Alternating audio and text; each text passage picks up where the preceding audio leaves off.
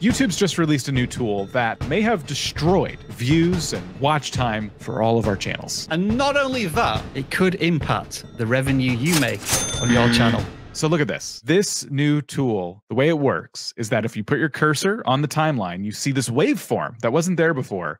At one point in the timeline, it will say the most replayed section. So presumably this is where viewers on a video are tapping on a certain point in the timeline to watch it more than anything else. Let us know though. Is this something that you would find useful? Let us know in the comments. Yeah, because we're finding this fascinating and we're encountering it for the first time. And as you might imagine, we've got some thoughts and opinions. Let's talk about why this new feature exists in the first place. And it comes down to satisfaction. All right. YouTube's number one goal for anybody who's watching YouTube is to cancel their Disney Plus and their Netflix and watch YouTube literally forever. But I really wanted to watch Obi-Wan Kenobi. You were the chosen one! Is this essentially open season on everybody's audience retention? Let's take a look at that. In the YouTube studio, as you've no doubt seen, you'll have this audience retention graph, which slowly goes down like a hockey stick as the audience drops off, but it does show the spikes. But how does this translate into the video that a viewer sees? This is the same video, but from the viewer's perspective. And as you can see, it does show the spikes, but it doesn't necessarily show the drop off.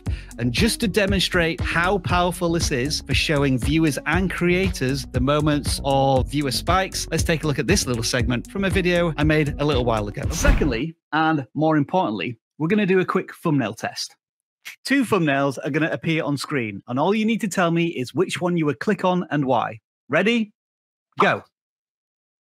Yeah, I didn't give you long there, did I? But it was still more than enough time to pick a thumbnail, right? So it's pretty obvious why people were jumping back to this part of the video. They wanted to see these thumbnails in a little more detail. And that's a clear demonstration of how you can use viewer engagement tactics to increase your audience retention. Now, a big concern about this, as we mentioned, is that people are afraid this is going to completely tank their watch time because as you just saw, there's sections of videos that people are basically watching more than others. But that's where Pierce comes in. We heard concerns from creators that this feature would decrease watch time or negatively impact some content types. The good news is that in our experiment, we found there's no statistically significant impact to watch time from showing these graphs. So that was Pierce. He is a product manager over on YouTube and he specifically works on satisfaction on the platform. And when he says that this will not have a negative impact on watch time, I'm inclined to believe him because that's everyone's now, in the past, we've seen similar concerns about abbreviated subcounts and the removal of public dislikes. But months, years after those events have happened, is anybody still fiercely complaining about them, saying that this is having a huge impact on their channel? I'm not really seeing that. But what I will say is that when it comes to these audience satisfaction waveforms, the creator inside a video doesn't have it. Hashtag conspiracy.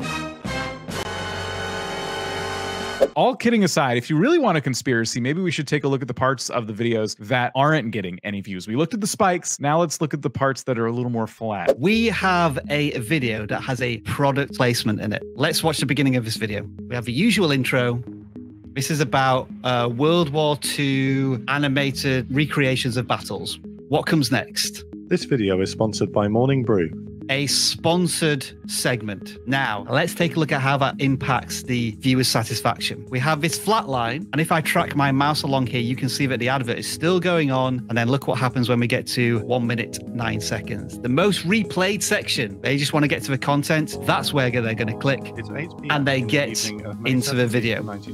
How useful is that for advertisers? I would say that is rather concerning to see. And honestly, I can kind of relate to the graph we just saw because I myself skip a lot of product placements from creators who I otherwise really like and I want them to get paid for what they do. Of course, what this doesn't show is the impact of this advert in terms of conversions. Yes, not many people may be watching this part of the video, but those who are may still be buying the products. Ultimately, advertisers are going to need to get creative, I think, one way or another. I've talked to a lot lot of influencers who have worked with brands and they, they sometimes get a whole script that they're supposed to read off. And I think now brands are going to need to allow creators to create, to take their brand image and kind of play with it a little bit in a way that works for their audience. Dan, are we being too negative here? Is this just a dollop of scaremongering? What are the advantages of this tool? Well, I do think there is a little bit of good news. I think, for one, this could help a new viewer to your channel stick around a little bit longer where they might not have before.